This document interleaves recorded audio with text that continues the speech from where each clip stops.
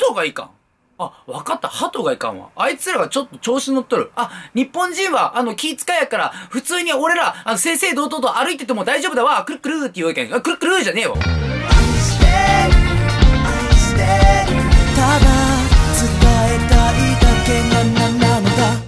イェおお糸を掴んどった。わか、わからんか。わからんな。あー、見える糸を掴んどった。イェイウォーの家で、家で糸を掴んど、いいんですよイェイウォーわしい宝部ですラベさんちへようこそさて、今日もやっていきましょ。う今日の動画はですね、もう皆さんからしたら本当にしょうもない動画かもしれません。しかし、しかしですね、僕はどうしても言いたいんですよ。僕は物申したい。この日本に物申したいんです。おい、日本と。日本ってもう本当に気を使って気を使っての国じゃないですか？そう思いませんか？今日ですね、とある撮影があって、あの、朝からちょっと僕出てたんですよ。ビーンってね、チャリンコこいでて。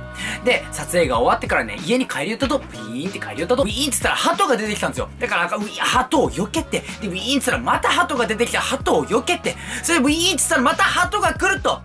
もうそれでもう、もうガタガタよ、もう。もう、俺進行方向に来るから鳩。あります？チャリンコ漕いでて鳩をこうやって避けるっていうタイミング3回もありますか？ないでしょで、で僕その時思ったんですよ。鳩って、あ、こいつら多分、後ろには歩けんと。おそらくね。だから、こうまっすぐ行っとった進行方向に鳩が行っとったら、その後ろ側、鳩がこう行ったらこっち側に進めば、今後鳩さんが目の前に出てきても、あ、危ない思いをさせることはないんだろうなって、ふと思った時に、なんでよいやいやいやいやいやいや、気使いすぎやろ。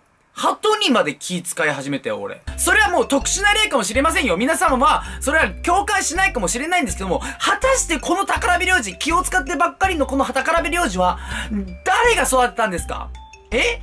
おかんですか？いえ、違います。教育ですか？いえ、違います。この日本です日本が、この宝部領事を何を言ってるんだろう、さっきからって思ってるでしょ？思わないで。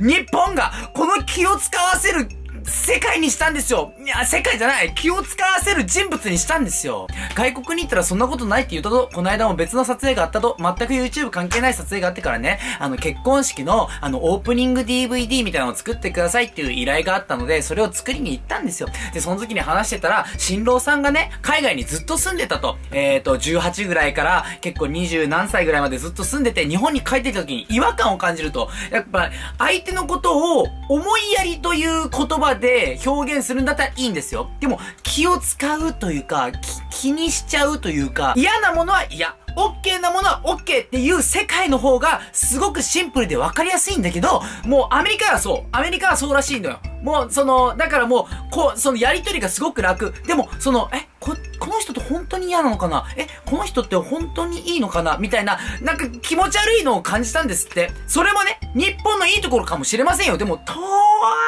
たまには、たまにはじゃないわ。時には。それは時にはですね、ちょっとむ、めんどくさいことになったりするんですよ。それが、今回、感じたんですよ。どう思いますか皆さんは？その時、そういうことどう思いますか？どう思いませんか？鳩のことで、鳩のことについてはどうも思いませんか？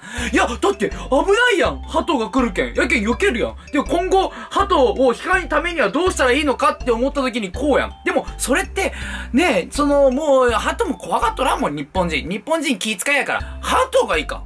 あ、わかった。鳩がいかんわ。あいつらがちょっと調子乗っとる。あ、日本人は、あの、気遣いやから、普通に俺ら、あの、正々堂々と歩いてても大丈夫だわ。くるくるって言うわけん。くるくるじゃねえわ。くるくるじゃないわ、こんなもん。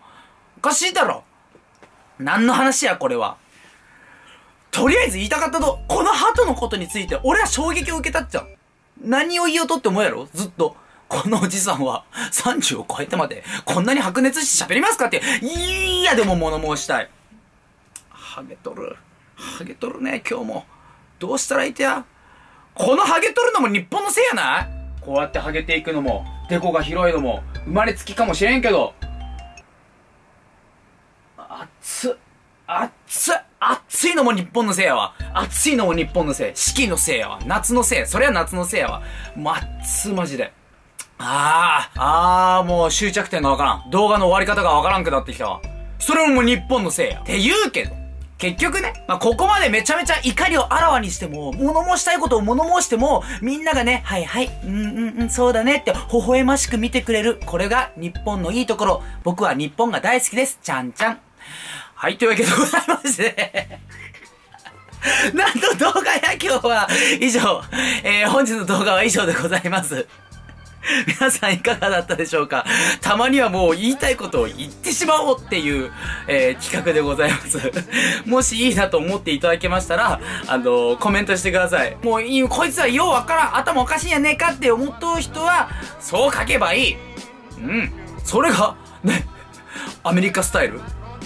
え日本やからそこは、包み隠そうよ。包み隠して俺のき俺の気持ちいい感じにさせてくださいよ。やべマジで迷子だわ。というわけでございまして本日の動画は以上でございます。また皆様のお帰りを お待ちしてます。帰ってきてくれる？グッバイサラダチンアディオスバイバーイ。大丈夫かな？